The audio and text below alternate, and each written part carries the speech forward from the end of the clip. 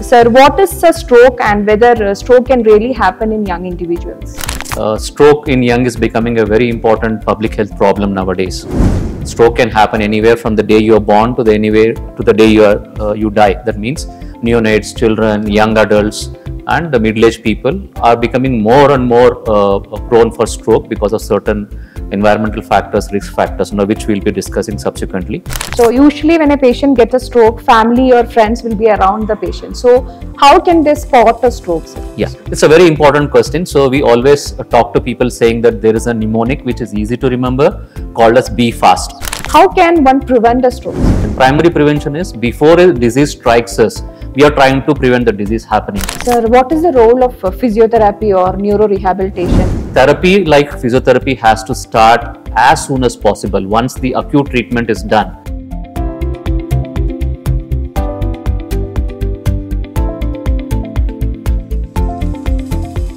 Hi everyone, uh, we are from the Department of Neurology, Manipal Hospital, Sarjapur Road. I am Dr. Lakshmi Krishna, Consultant Neurologist, Manipal Hospital. Along with me, I have Dr. Shivkumar sir, who is the head of the Department of Neurology, Manipal Hospital, Sarjapur Road. Today we are here to discuss an important topic that is stroke in young.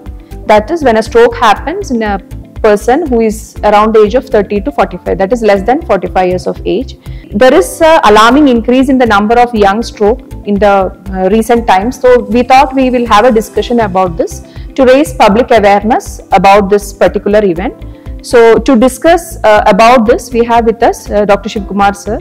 So, sir, what is a stroke and whether stroke can really happen in young individuals? It's a very important question. I thank you for uh, the brief introduction stroke in young is becoming a very important public health problem nowadays. And uh, what we are seeing now is we all used to think older people are the one who is going to get stroke, but stroke can happen anywhere from the day you are born to the anywhere to the day you are uh, you die. That means neonates, children, young adults, and the middle-aged people are becoming more and more uh, prone for stroke because of certain environmental factors, risk factors, you know, which we'll be discussing subsequently. So as we all know that stroke is disease where there is occlusion of the blood vessel and it can happen in any individual. And based on the symptoms, what part of the brain is getting affected, people can have various symptoms. So one person's stroke does not look like another person's stroke. That's the most important thing you should keep in mind. Second, young people are not immune for uh, developing stroke they can also have stroke so if you have any symptoms of stroke see that you consult someone so that you don't miss out stroke which is very important in young people. As sir has said there is no age bar for stroke right from infancy to elderly. Anyone can get stroke at any time. So, sir, what are the risk factors for stroke? Yeah, see, the conventional risk factors, what we say for the elderly people is diabetes, age, atherosclerosis, those kind of things are uh, common. But nowadays, we see a lot of this kind of similar disease like hypertension, diabetes, atherosclerosis, or uh, cholesterol problems can happen in the young people also.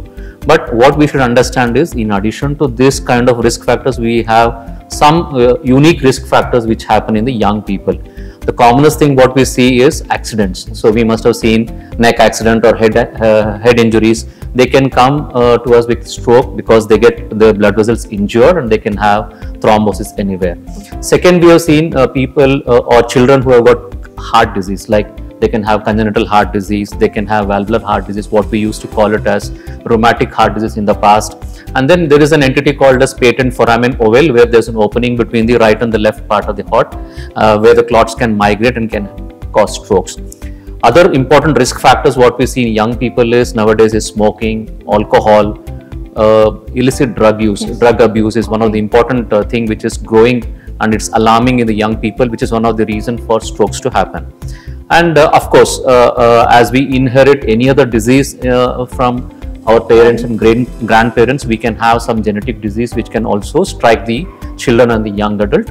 And of course, we should not forget that in females, pregnancy is a risk factor for someone to have a stroke. So, uh, stroke can happen in pregnant ladies or uh, women who are using hormonal preparations which has got very high content of estrogen. These people also are prone for stroke. So, uh, all these things have to be kept in mind whenever we see young people coming with stroke. So usually when a patient gets a stroke, family or friends will be around the patient. So how can they spot a stroke, sir? Yeah, it's a very important question. So we always talk to people saying that there is a mnemonic which is easy to remember called as Be Fast. So as the B fast uh, mnemonic stands, we say B. B is for balance, or B is for having any kind of a bulbar symptoms, or we say B is for uh, some kind of a uh, uh, uh, speech related issues. Then B E, e stands for eye sense. Anyone who gets double vision or a sudden onset of squint, uh, you can say that these people are probably having stroke. One has to be more aware of it.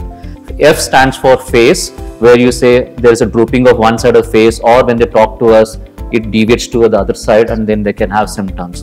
And the A stands for your arm. Either it can be a leg or arm, where if one tries to keep a hand, you can see slow deviation of the hand happening because of the weakness in the hand.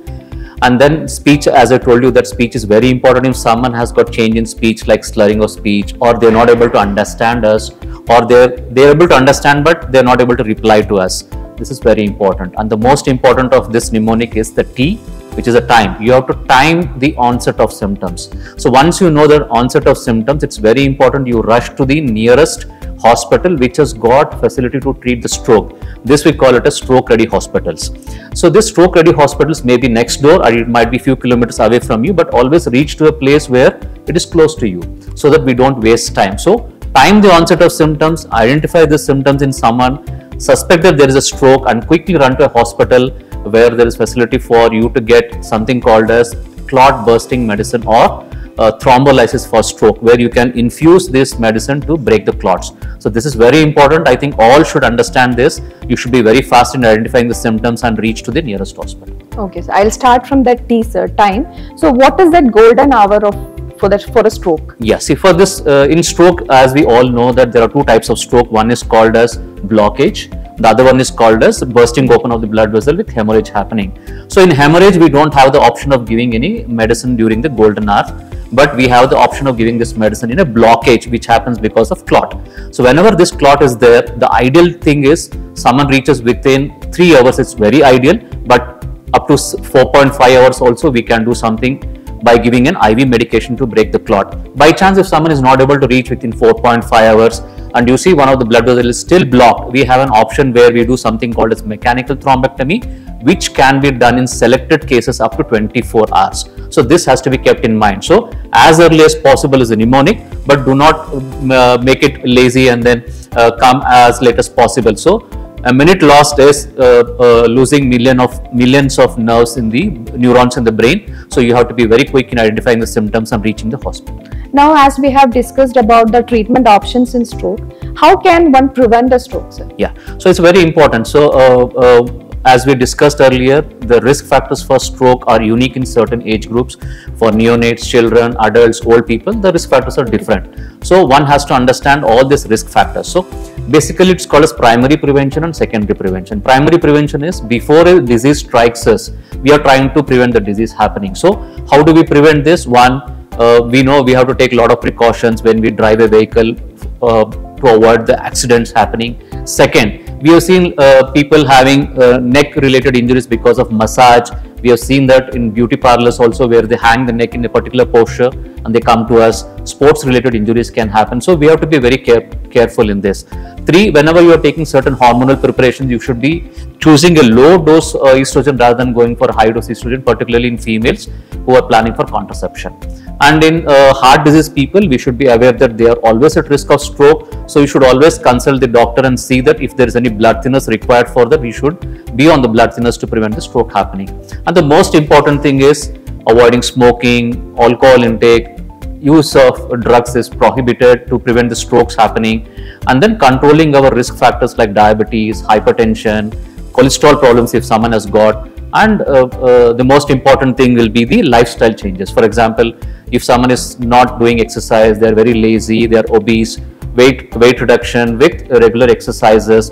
Good sleep also is important because sleep also has got role in prevention of stroke. So all these things to enumerate we have more uh, more and more risk factors. Identifying what is the risk in a particular family when someone has got a genetic disease also is very important for us to prevent the stroke. Sir, what is the role of uh, physiotherapy or neurorehabilitation and yeah. when should they start? Whether should they start the next day itself or whether should they go slow or initially itself we should do it? Yeah. So it's a very important question because uh, uh, when someone has stroke, we admit them and we treat them. This admission is basically to reduce the amount of stroke what they have got and to find out what are all the reasons for stroke to happen and then we start them on certain medications.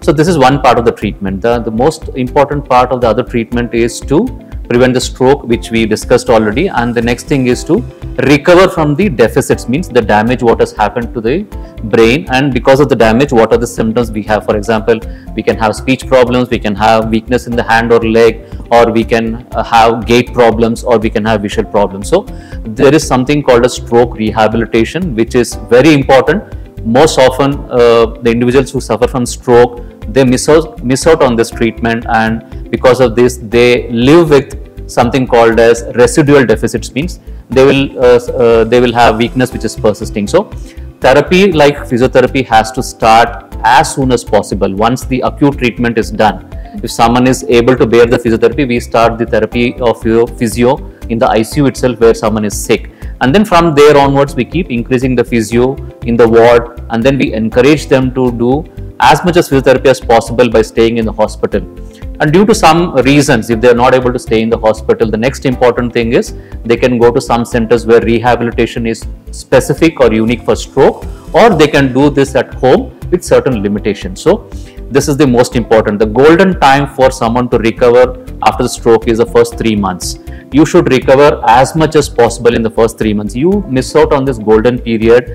Then the chance that you might remain with certain damages or certain residual deficits very very high. And my teachers always used to say that the recovery can happen anywhere from few days to few years or even throughout your life. It's not about recovery. The most important thing is that we have to also prevent certain permanent changes happening. For example pain stiffness contractures so there are something called as complications which can happen because of the weakness also. So physiotherapy has got two roles. One is to recover whatever the uh, weakness or whatever the deficits you have. The second one is to prevent after changes which happens after the stroke has happened. So it's very important that all stroke patients should undergo uh, therapy. They recover or not, the therapy has to be continued for a long time. So I think uh, we are just winding up the session. Now I think we have a very very good discussion about what is a stroke especially with uh, reference to the stroke in young individuals, what are the risk factors and how to spot a stroke, especially which is very relevant for the public because they should first identify that this could be a stroke, then only they can bring the patient to a nearby healthcare facility. And we have discussed about the various treatment options like clot busting medicines or even the thrombectomy, which is an intervention and the physiotherapy part of it, which is also really very important in the first three months. So thank you so much for your patient listening. Thank you so much. Thank you. Thank you, Lakshmi. Thanks.